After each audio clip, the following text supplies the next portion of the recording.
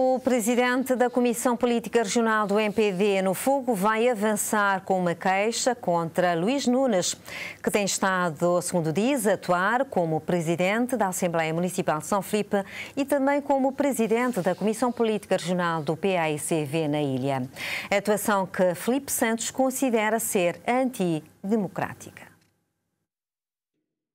A Comissão Política Regional do Movimento para a Democracia na Ilha do Fogo denuncia o que considera um comportamento antiético de Luís Nunes, que vem atuando como presidente da Assembleia Municipal de São Felipe e também como presidente da Comissão Política Regional do PAICV na ilha, algo que viola o artigo 40 do Regimento da Assembleia Municipal, conforme explica Felipe Santos. Em vários níveis, mostra claramente que ele anda a pitar e julgar ao mesmo tempo violando o regimento da Assembleia Municipal de São Felipe no artigo 40, que diz: são incompatíveis as funções do presidente da Assembleia ou membro da mesa com as de dirigente de grupos políticos.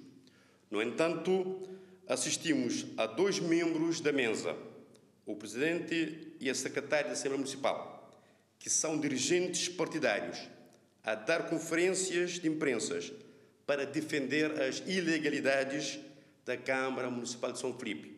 Isto é grave no Estado de Direito Democrático.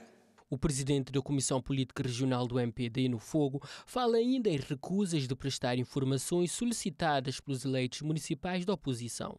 Age com total tendenciosidade e bajulação, em vez de defender os interesses do povo de São Felipe ele recusa, recusa-se a cumprir o seu dever de exigir que a Câmara de São Felipe preste informações solicitadas pelos eleitos do MPD, que tem o direito e o dever de escrutinar a ação do Executivo Municipal. A atitude do Presidente da Assembleia Municipal de São Felipe é uma afronta à ética, é uma afronta à moral e à democracia.